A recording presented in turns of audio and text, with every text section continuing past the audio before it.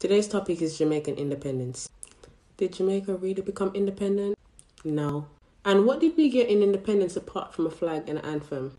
Not a fucking thing. So in 1692, when colonial government was set up, just remember this, they took over in 1665 and named the island Jamaica in 1691. Anyways, the government consisted of a governor, executive council, magistrates court, and the court of admiralty.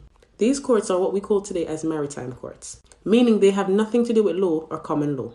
The governor was also known as the Lord of the Land, and he was also the commander for the Jamaican militia. The Jamaican militia today is what we know as JDF, the army. The army was and still being used as their personal bodyguards. Now you might say I'm wrong, but ask yourself this. When has a Jamaican soldier ever been deployed to fight a war against another country? Never. All they do is fight Jamaican people by keeping us in order. That's why I call it a personal army. Go to part two. Welcome back. By 1962, the black population became the superior majority, meaning that there was more black Africans more than any other racial group within the Caribbean at that time. So they know they couldn't continue with the same systems they had oppressing black people. So to appease black citizens and white colonists, the crown decided to hand over some responsibility to the desegregated local parliament, basically letting some Negroes in. And that's all we got. Don't believe me? This is what the Independence Act of 1962 did not do for us. Because I read the act.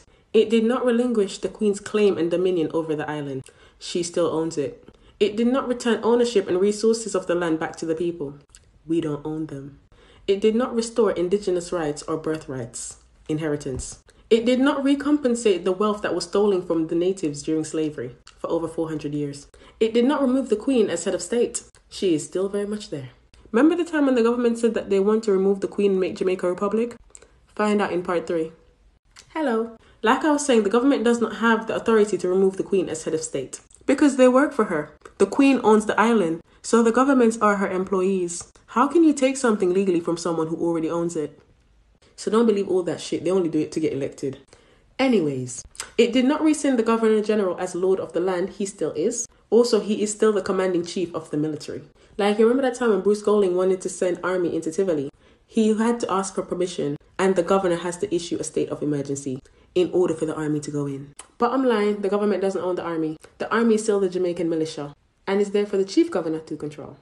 Anyways, it did not revoke the birth certificate bonds under citizenry. We still bonded. I'll make a separate video about that. And it did not resolve the debts that was accrued upon the people. This so called independent nation started off flat broke. No money, debt, broke. Go to part three. So, like I said, Jamaica started out flat broke. And because of this, the government of Jamaica and the Bank of Jamaica, which is owned by the Queen as well, this is in the Bank of Jamaica Act 1960, soon started to borrow large sums of money from predatory multinational lenders like the International Monetary Fund, you lot know as the IMF, the World Bank, and the Inter American Development Bank, the IDB. Those banks carry high interest rates and harsh penalty fees, one of them being known as the Structural Adjustment Policy. Keep that in mind. Here is an example of a structural adjustment policy. Jamaica has 3 million people currently living on the island, but only six post service general hospitals. Portmore is the most popular parish on the island and they still don't have a hospital. You know why they don't have a hospital? Because of the structural adjustment policies. Because of this policy, when the IMF lends you money, they can tell you what they want you to spend it on. And they told us explicitly that we can't build no new schools or hospitals. Part 5. Welcome to part 5. This is part of the reason why Jamaica has not built a new school in over 20 years and a hospital in over 30 years. And the debt is why, which is the grip of poverty in Jamaica. Another negative impact that these policies have on Jamaica is to force the country to sell out its resources. We don't own the bauxite, nor the tourism, nor the airlines, or the airports, agriculture, utilities, or the highways. The 6th of this month will be 58 years since our independence, and these policies are still running our country. They dictate everything from the value of the dollar to the rate of income tax to what schools they open or what roads get fixed. Today, every half of a dollar that you pay in tax goes towards serving that debt. The other half goes to royalties and other bondholders. Bottom line, your tax doesn't finance Jamaica. The end result is a bankrupt country with a useless currency and a population working to serve a debt that we did not accumulate. And finally, take yourselves over to part six. Hi, welcome to part six. There is a group in Washington, D.C. called the Center Curse Product for Economy. They published a report in 2015.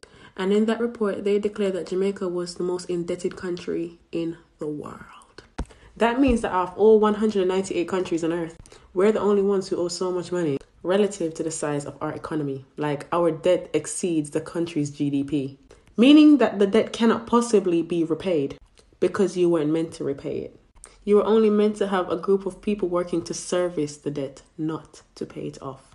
Meaning that Europe still has their fingers, toenails, earlobes, eyelashes, everything in that cute little country we call Jamaica. So please know this I don't make these videos to offend anyone, I make them to educate and to let people understand that as black people, child, we still struggling, even in our own country.